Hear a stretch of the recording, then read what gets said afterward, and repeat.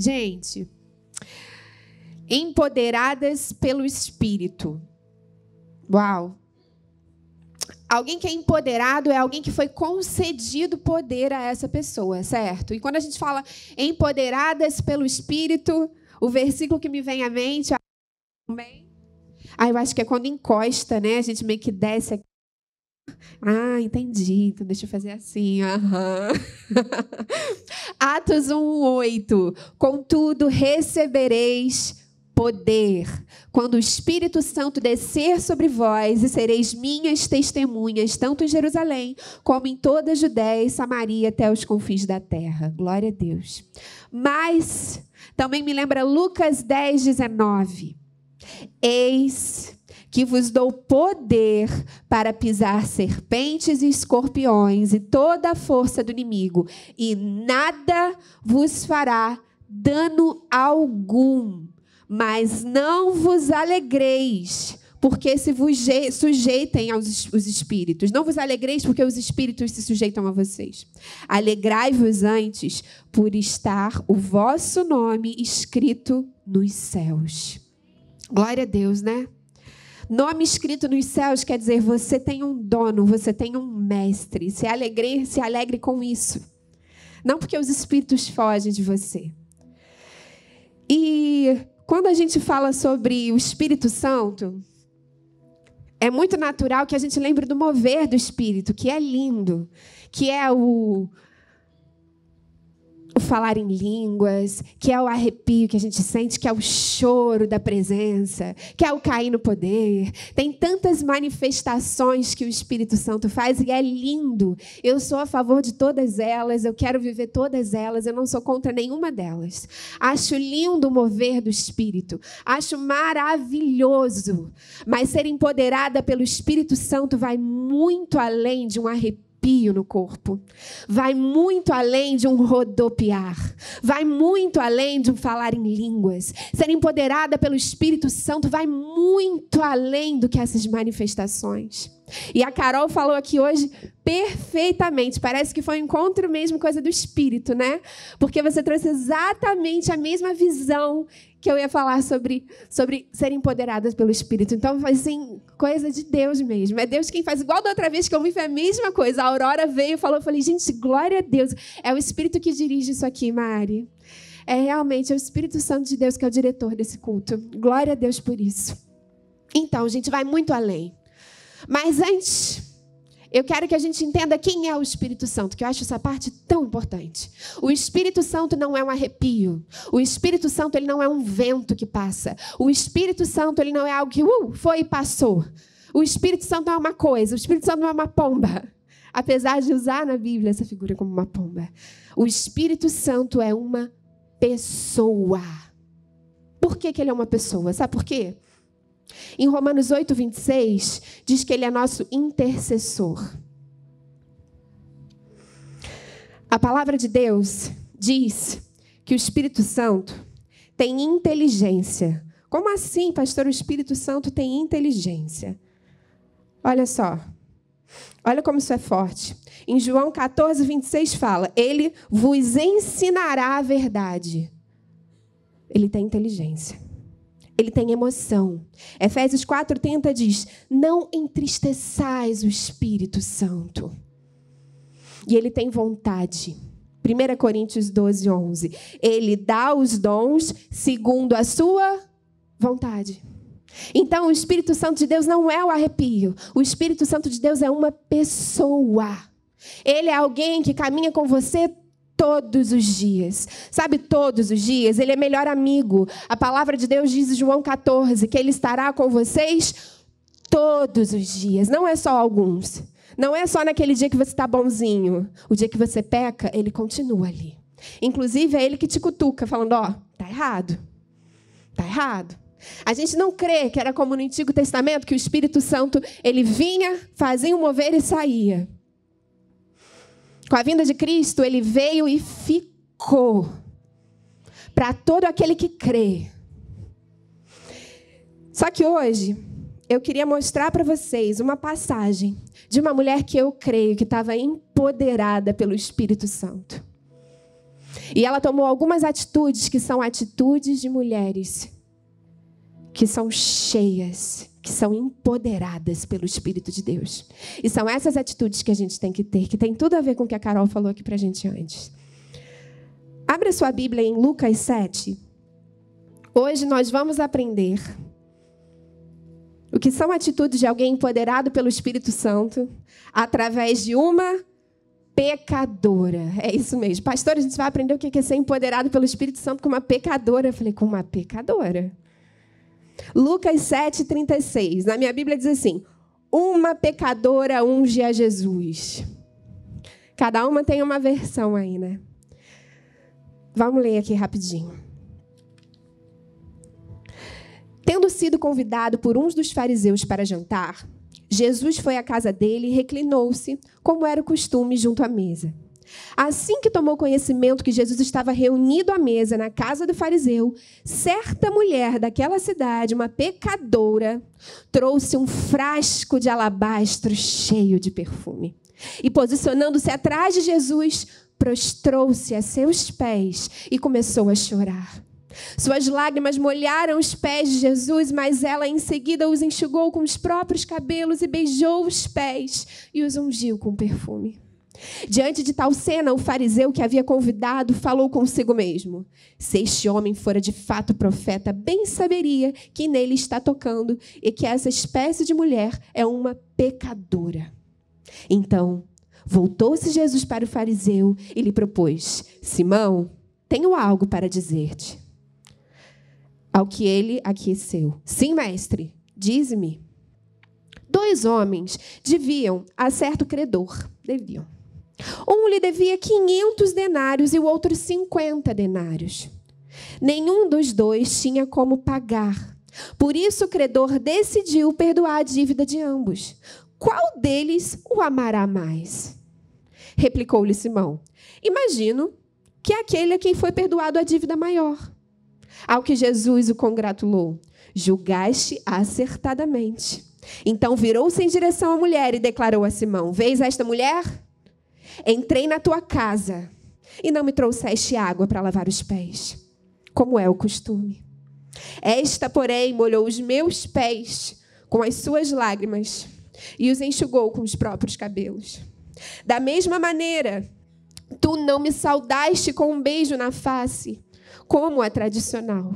Ela, todavia, desde que cheguei, não cessa de me beijar os pés. E mais, Tu não me ungiste a cabeça com óleo, como era de se esperar. Mas esta mulher, com puro bálsamo, ungiu os meus pés. Por tudo isso te asseguro, o grande amor por ela demonstrado prova que seus muitos pecados já foram todos perdoados. Mas onde há necessidade de pouco perdão, pouco amor é revelado. Em seguida, Jesus afirmou à mulher: Perdoados estão todos os teus pecados, mulher. Então os demais convidados começaram a comentar: quem é este que tem poder até para perdoar pecados? E Jesus revela à mulher: a tua fé te salvou. Vai em permanentemente paz. Glória a Deus. Precisava falar mais nada, né? Esse texto é lindo demais. Me emociona quando eu leio esse texto. A gente está falando de uma mulher pecadora. A gente não, a Bíblia não diz o nome dela, não diz o pecado dela. Alguns estudiosos dizem que ela era uma prostituta, porque como ela estava com os cabelos soltos, era característico daquela época que as prostitutas andassem com os cabelos soltos. As mulheres andavam de véus, com o cabelo preso. Mas a gente não pode confirmar. Mas ela era conhecida como uma pecadora. Qual o pecado não sei, mas uma pecadora que todos ali conheciam.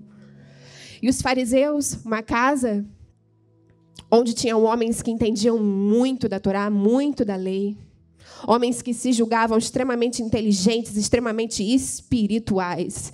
E um deles, Simão, chamou de Jesus para jantar. E quando Jesus fala assim: Você não lavou os meus pés, você não me beijou, você não me ungiu, não é porque Jesus estava querendo atenção, não. Isso era costume da época. Quando chegava alguém para jantar, para visitar a sua casa, era costume que talvez um escravo chegasse com a água para lavar os pés que fosse um beijo que significava boas-vindas, que é o tal do oscos. e o óleo para ungir. Isso era normal quando alguém visitava um lugar. Mas Simão não fez nada disso com Jesus. Pelo contrário. E o primeiro ponto que eu quero falar com você dessa história está no versículo 37. Assim que tomou conhecimento que Jesus estava reunido na mesa, na casa do fariseu, ela foi. Essa mulher soube aproveitar a oportunidade. Mulheres empoderadas pelo Espírito Santo. Para essas mulheres não existe impedimento para se relacionar com Jesus. Minhas irmãs, eu estou falando de um lugar onde ela não foi convidada, onde era uma reunião de homens, onde todos sabiam qual era o pecado daquela mulher. Era um lugar que com certeza ela seria julgada. Ela não era bem-vinda, mas Jesus estava lá. E se Jesus estava lá, ela foi. Olha a quantidade de barreiras que essa mulher enfrentou para poder estar na presença de Jesus. Talvez uma autoestima baixa, uma insegurança. Meu Deus, eu pecadora, vou entrar na casa de fariseus, aqueles mestres da lei. Meu Deus, todo mundo ali sabe o meu pecado. Mas ela foi.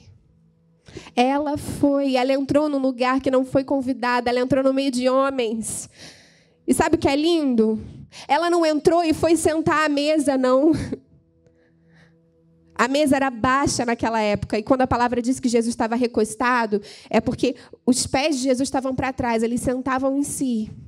Ela não foi sentar na mesa, ela foi para trás, onde estavam os pés dele, porque ela não estava interessada em aparecer para ninguém, ela não queria saber o que, que o povo pensava dela, não. Ela queria Jesus. Era o que ia mudar a história dela. É lá que ele está, é para lá que eu vou. Eu imagino o povo falando, mulher, não vai não. Imagina entrar naquele lugar cheio de homens, cheio de gente, te conhecem, sabe quem você é, o seu passado. Sabe aquela história, o meu passado me condena? Com Jesus não é assim, não. Meu passado não me condena. Ele muda a minha história. Ela foi. Jesus estava lá, então era lá o lugar que ela tinha que estar. E vem a minha pergunta para você: o que, que te impede de se relacionar com esse Jesus? O que que te impede de estar na presença dele? É preguiça? É falta de tempo? É família? Eu não estou falando com você só de vir cultuar a Deus na igreja, eu estou falando de tempo de qualidade com o seu Deus, com o seu Jesus, eu estou falando de relacionamento com o Espírito Santo. Você acorda e dá bom dia para o Espírito Santo, porque eu falei para você lá no início que ele estava ali todos os dias. Você fala com ele. Existe uma palavra que eu dou no nosso grupo de vida vitoriosa que fala justamente sobre isso, que quando Jesus subiu, ele falou assim: "Eu asseguro a vocês que eu preciso ir embora, porque quando eu subir, vem o Espírito". O que isso quer dizer? Quer dizer que o Espírito Santo caminharia com todos, assim como Jesus caminhou com os seus discípulos, assim como Jesus caminhou com a multidão. O papel do Espírito Santo é fazer isso, é caminhar lado a lado, é ensinar. Sabe quando Jesus ensinava os discípulos? Então, o Espírito Santo, nós não somos órfãos. A palavra de Deus fala sobre isso. O Espírito Santo está aqui para nos ensinar a viver a vida, nos ensinar a honrar o nosso Deus. O que, que te impede de ter um relacionamento com Ele todos os dias? Se fosse com Jesus, se você acordasse e soubesse que Jesus estava ali, eu aposto que você ia perguntar para Jesus: Jesus, que roupa eu uso hoje? Jesus, qual o caminho que eu pego para ir para o trabalho? Jesus, falo isso com meu chefe ou não falo? Você mudaria o seu jeito de viver. E o Espírito Santo está aqui todos os dias para que você pergunte para Ele: com que roupa eu vou? Para onde eu vou? O que eu faço? Para que você se relacione com Ele. Essa mulher venceu julgamento, essa mulher venceu timidez, essa mulher venceu insegurança, ela venceu todas as barreiras que tinham ali para estar na presença do Senhor. Porque ela sabia que era Ele que oraria para ela diferente, não segundo o pecado dela. Era Ele que podia perdoar o passado dela, escrever uma nova história para ela. Era Ele. E foi para Ele que ela foi. Às vezes a gente pede conselho de amiga, livro de autoajuda, quando na verdade a gente só precisa ouvir a voz do Espírito Santo. Quando na verdade você só precisa parar e ter um relacionamento profundo com Ele, verdadeiro, transparente. O que que te impede, mulher, de entrar na casa dos fariseus, romper todas as barreiras, romper a multidão e ficar aos pés do seu Salvador? Eu tenho uma amiga que sempre fala para mim assim: eu quero viver grandes experiências com o Espírito Santo. Nossa, eu quero falar em línguas, eu quero rodopiar, eu quero cair no Espírito, nunca caí no Espírito. Eu quero. Ah, eu quero ouvir a voz do Espírito, eu quero que Ele me guie nas minhas decisões e tal. Eu falei: glória a Deus, que bênção, amiga. E quanto tempo você tem passado com Ele? Ela, como assim? Quanto tempo? Você tem conversado com ele? Tem lido a Bíblia? Tem ouvido a voz dele? Como é que está sendo o seu relacionamento? Ela, ah, eu ando muito ocupada, né? Eu estou trabalhando muito, tenho um filho, tenho meu marido, difícil conciliar, né? Mas assim, eu pelo menos uns cinco minutinhos dirigindo, eu faço uma oração. Eu falei, ah. Ela quer intimidade, mas não quer romper as barreiras. Ela quer estar ali perto, mas não quer acordar três da manhã para procurar o Senhor. Ela quer as bênçãos, mas ela não quer abrir mão do que é necessário do pecado para encontrar Ele. E você? O que que te impede de mergulhar profundamente nesse Deus maravilhoso que deixou o Espírito dele habitando em você? No versículo ainda 38 fala que ela se prostrou e chorou. Ela se prostrou e chorou. Mulheres cheias do Espírito Santo não se justificam, mas se arrependem.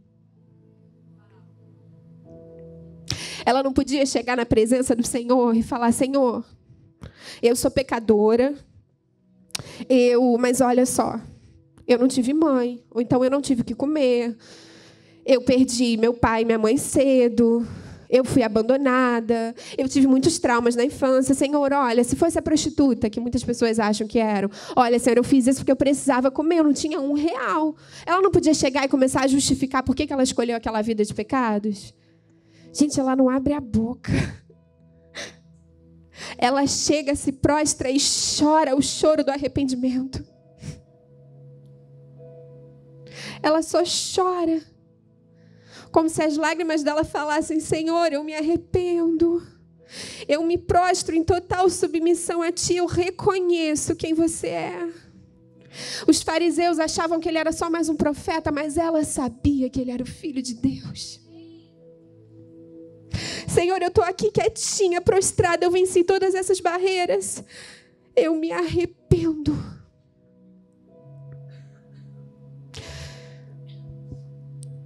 A gente precisa cumprir três passos quando nós pecamos, quando nós erramos. É claro que nós continuamos pecando, mas nós não vivemos uma vida de pecados. A gente não está ali afundando o tempo inteiro naquilo. Mas somos humanas. Só que aquelas que são empoderadas pelo Espírito, elas precisam cumprir esses três passos. O primeiro deles é reconhecer que errou. E aí entra o Espírito. Sabe aquela cutucada assim, ó, filha, você não devia ter falado isso, não. Filha, essa roupa aí não. E reconhecer eu lembro que a Aurora contou aqui um testemunho rápido uma vez que ela foi, ela estava na equipe de louvor e ela estava muito incomodada com a roupa dela, não tinha nada demais, ela estava com uma calça, se eu não me engano, com uma blusa, mas eu acho que a blusa tinha um pequeno decote atrás, não sei. E ela estava ali incomodada, incomodada. Aí ela foi falar com a pastora, a pastora falou: "Filha, não tem nada, mas se você está incomodada, pode botar um casaco". E ela botou um casaco e foi. É o espírito, ele fala. Ele fala. Ele fala, tá errado, filha. Mas tem mulher que não reconhece que erra. É orgulhosa demais para isso. É boa demais para isso. Reconhecer. Segundo, depois que a gente reconhece o nosso erro, a gente se arrepende. É necessário se arrepender. Não adianta, porque tem aquelas mulheres que falam assim: não, eu sei que eu errei, mas foi necessário. Você viu que porque eu errei, ela mudou. Você viu que porque eu errei, ela amadureceu. Você viu que eu fui um pouco grossa, mas olha, deu certo, ela mudou de vida. Não teve arrependimento. Não teve. O que nos diferencia do mundo é: errei, Senhor, reconheci e me arrependo. E quando eu me arrependo, eu tenho que cumprir o terceiro passo, que é pedir perdão. Eu não costumo falar assim, volta e pede perdão. Eu falo, segue e pede perdão, porque não tem como voltar depois das palavras faladas, depois do erro que fez. Talvez a gente tenha magoado muita gente. É segue, mas segue e pede perdão. Segue pedindo o perdão. Eu lembro que no início do meu casamento, gente, eu tinha muita dificuldade de cumprir esses três passos. Felipe é muito paciente. Deus do céu, Deus foi bom comigo. Porque eu errava. Eu sabia que eu errava, mas eu não me arrependia e pedi perdão de jeito nenhum, imagina, não vou pedir nada. E o Felipe ficava assim, amor, você sabe que você errou comigo, você não precisava falar daquele jeito. Eu falei, precisava, sabe por que eu precisava? Porque você fez aquilo, aquilo, aquilo. Por isso eu falei daquele jeito. Olha a justificativa. Olha tentando se justificar. Mulheres empoderadas pelo Espírito não se justificam, elas não têm medo, elas não têm vergonha de se arrepender e pedir perdão. Porque o Espírito é assim, nós somos humildes. E ele tinha maior paciência comigo, amor. Você não vai pedir perdão? Eu falei, não. Eu fiz porque você fez aquilo. Assim, eu fiz porque você fez aquilo. Só que com o tempo eu decidi ser guiada pelo Espírito, eu fui amadurecendo. Eu aprendi a pedir perdão. Aí hoje, quando acontece alguma coisa, ele já me olha assim, tô esperando. Aí eu, tá bom, desculpa. Ele, o quê? Ainda, ainda alfineta, né? Quer não ouvir? Eu falei, desculpa. Aí ele, não tô ouvindo não. Desculpa. Aí ele, desculpa não, fala perdão. Aí eu engulo e falo, me perdoa, meu amor, eu tô errada. Empoderadas pelo Espírito sensíveis à voz do Espírito. Mulheres adornadas pelo Espírito. Sabe o que é uma mulher adornada pelo Espírito? Adornada de boas ações. Ela se prostrou e chorou. Glória a Deus por essa mulher. E no verso 38 ainda diz: Ela enxugou os pés dele com os cabelos e beijou-os. Mulheres cheias do Espírito Santo são humildes. Humildes. Eu fico imaginando aquela mulher sentada aos pés de Jesus, aqueles homens todos comentando sobre a vida de pecado delas, e ela chorava se arrependendo, chorava, e com o que ela tinha, que eram os cabelos, ela enxugava os pés do Senhor. E beijava, e beijava, e beijava. Jesus falou: Desde que eu cheguei, ela não para de beijar os meus pés. O beijo significava o seja bem-vindo a essa casa, fazia parte da tradição.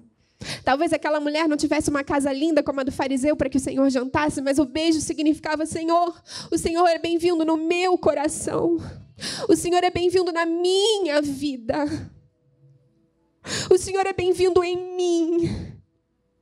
Eu me arrependo da minha vida de pecados, eu não me importo de me humilhar. Eu enxugo com o que eu tenho, que são os meus cabelos.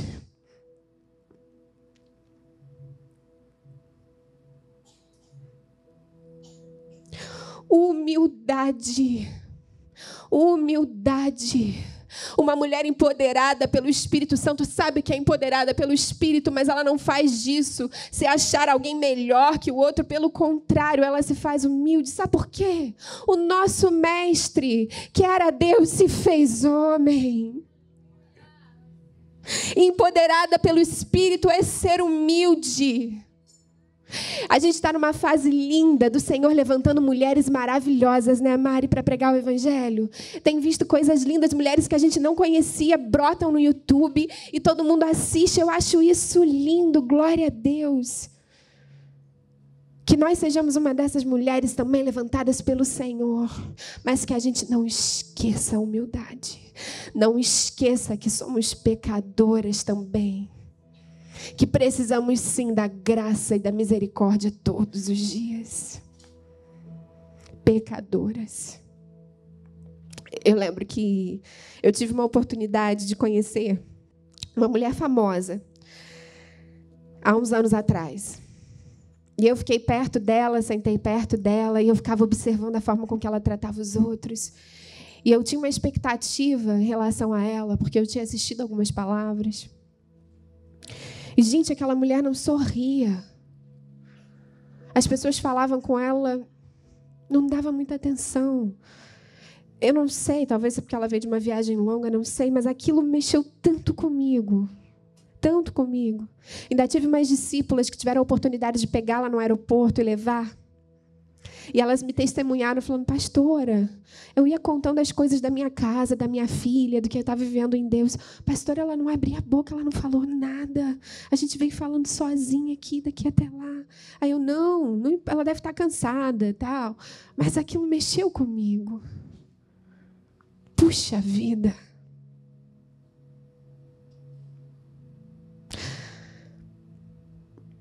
Se você quer que o Senhor te confie coisas grandes, ministério grande, maravilhoso, mantenha o seu coração no lugar certo. Mantenha o seu coração no lugar certo. Ao contrário disso, eu conheci a esposa de um homem muito famoso no meio evangélico, que fazia obras lindas, no meio batista principalmente, todo mundo conhecia. É um homem muito bom, um homem cheio do Espírito Santo, uma família linda. E eu tive a oportunidade de me aproximar deles. Eu comecei a ser tratada como filha por eles. E eu frequentei a casa deles. É a primeira vez que eu fui, eu fiquei tão nervosa, gente. Eu fico imaginando aquela mulher quando ela ia entrar no jantar dos fariseus, né? Eu estava assim pensando como é que eu ia fazer. Não era uma casa de fariseus, glória a Deus, mas estava assim, gente, os talheres, eu tenho que lembrar, começa de fora para dentro, daqui, o daqui é o do pãozinho, sabe? Eu já fiquei assim, meu Deus, eu preciso me preparar para ir lá. E fui eu e meu marido. E quando a gente foi, ela tinha feito um jantar lindo, tão simples ela sentou no sofá com a gente, falou: tira o sapato, olha, eu comprei um sofá que estica e você pode esticar os seus pés. Eu falei: meu Deus, ela não está sabendo de nada, mas como ela está ministrando na minha vida. Uma posição como a dela, que todo mundo a conhece, conhece o marido dela, tudo que eles fazem para o reino de Deus. E essa mulher me trata assim como se eu fosse tão importante para deitar no sofá dela. Humildade. Humildade. Uma mulher empoderada pelo Espírito não é arrogante. Uma mulher empoderada pelo Espírito Santo serve. Maior no reino de Deus é o que serve.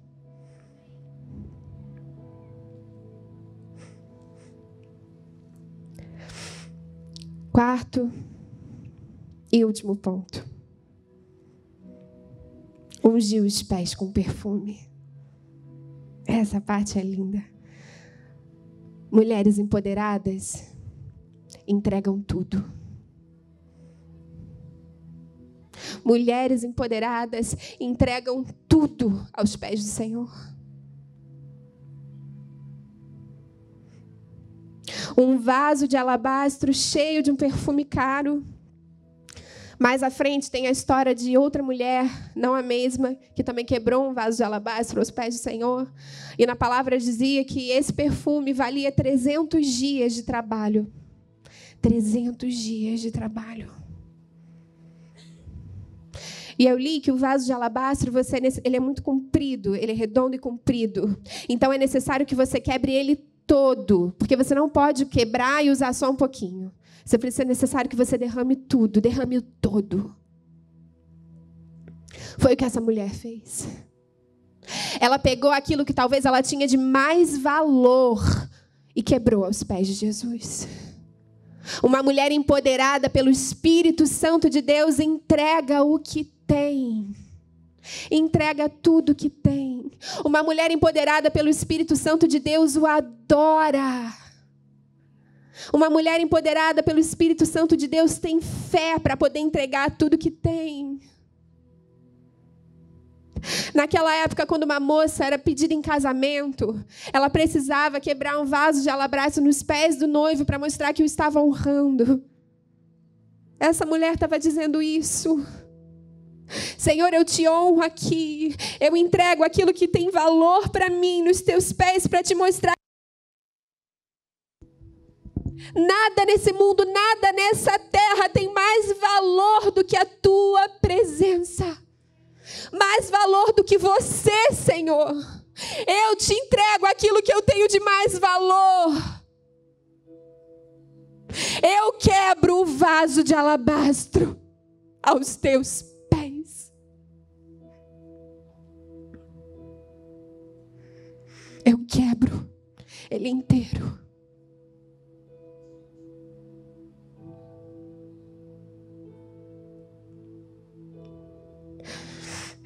Eu estudei por alguns anos, fiz uma faculdade de marketing, numa excelente faculdade caríssima do nosso país. Meus pais que estão aqui pagaram com muita dificuldade essa faculdade. Eu lembro que chegou no final, a gente teve que vender ar-condicionado para poder pagar essa faculdade. Depois eu fiz um MBA em marketing digital. Depois eu tirei a certificação no Google Tirei certificação do Google. Mexendo em Google AdWords, em tudo de publicidade online. Estudei, estudei, me dediquei a isso. Trabalhei em algumas agências. Depois o Senhor me chamou a trabalhar na Junta de Missões Nacionais, que eu amei. Fiquei lá quatro anos. Até o dia que o Senhor pediu o meu emprego. Até o dia que eu entendi de Deus que eu precisava quebrar o meu vaso de alabastro anos de estudo. Meus pais investiram tanto em mim com tanta dificuldade. Mas o Senhor me queria integralmente. E foi muito tempo orando ao Senhor, falando: Senhor, é isso mesmo. Eu só vou me mover se o Senhor falar para mim que é isso. O Senhor me queria integralmente para cuidar do meu filho, do meu ministério, da minha casa.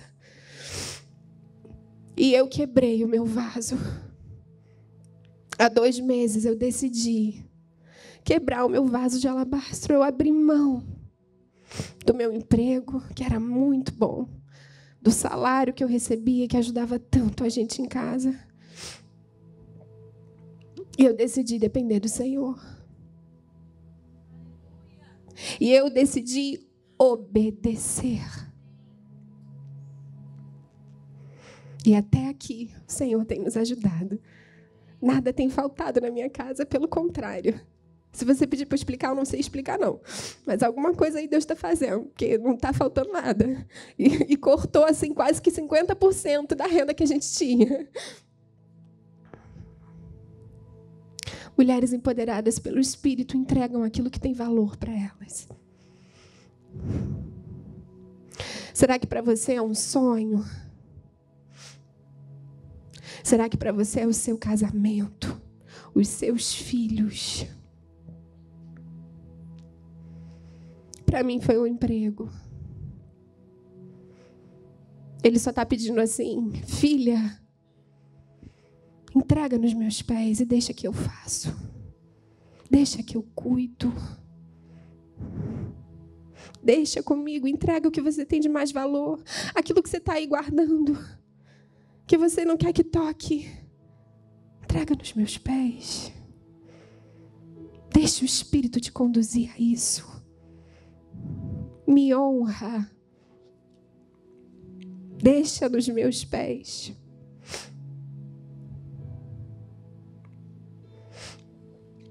E Jesus disse mais à frente que ela demonstrou amor. É linda essa parte que ele fala para ela que você demonstrou muito amor. Uau! Ouvir isso de Jesus é maravilhoso. Por isso, te asseguro, o grande amor por ela demonstrado prova que seus muitos pecados já foram todos perdoados. Mas onde há necessidade de pouco perdão, pouco amor é revelado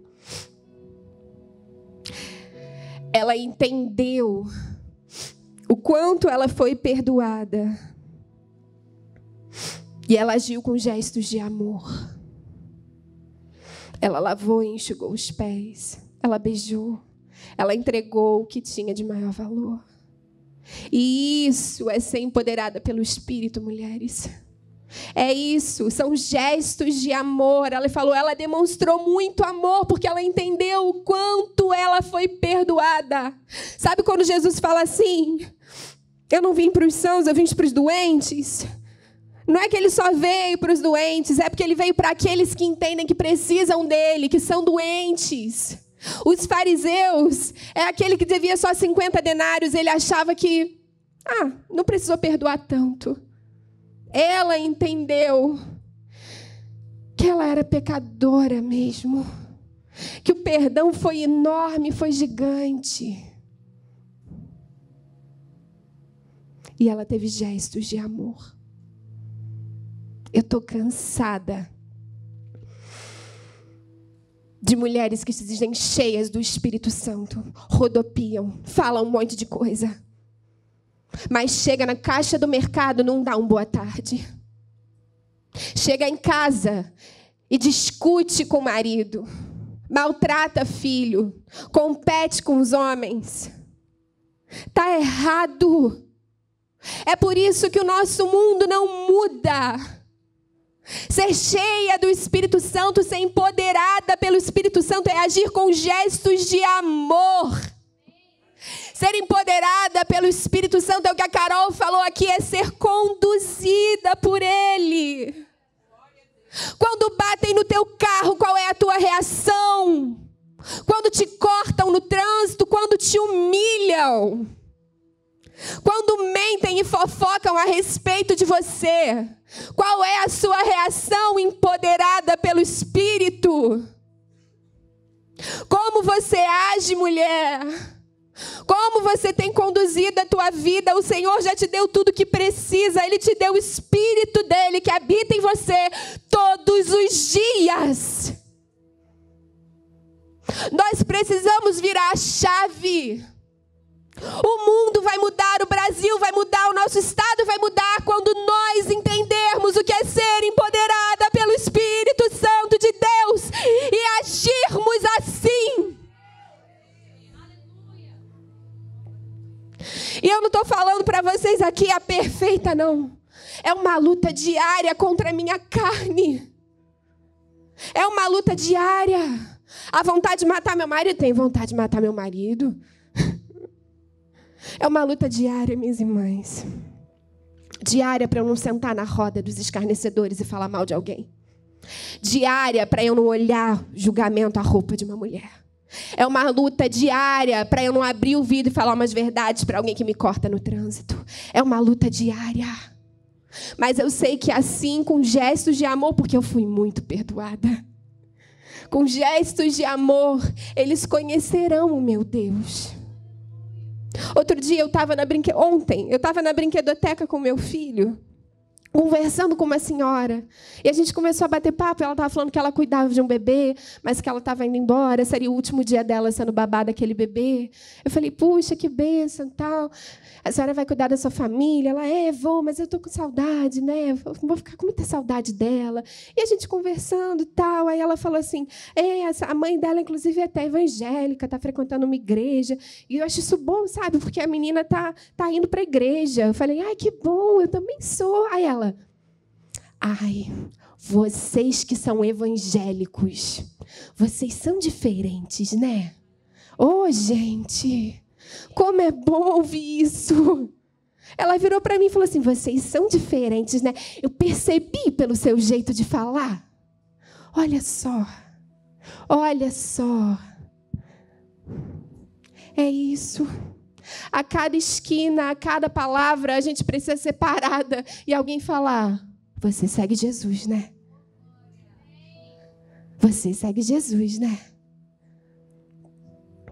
Satanás está ao derredor, querendo mesmo tirar nossa paciência, nosso domínio próprio, nossa temperança. Mas maior é o que está em do que o que está no mundo. Deus nos deu as armas já, todas as armas. Basta usá-las.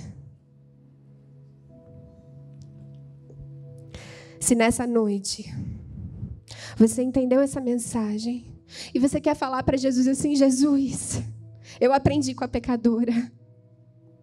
Eu quero romper barreiras para estar na tua presença, não importa a preguiça, o que for, minha prioridade é estar aos teus pés. Jesus, me ensina a ser humilde. Sei que o Senhor confia coisas grandes a mim, mas eu quero manter o meu coração no lugar certo. Jesus, me ensina a pedir perdão, a me humilhar, a me arrepender. Com os que merecem e com os que não merecem também. Porque no final das contas, nós não queremos ser conduzidas pelo mal dos outros, mas pelo Espírito.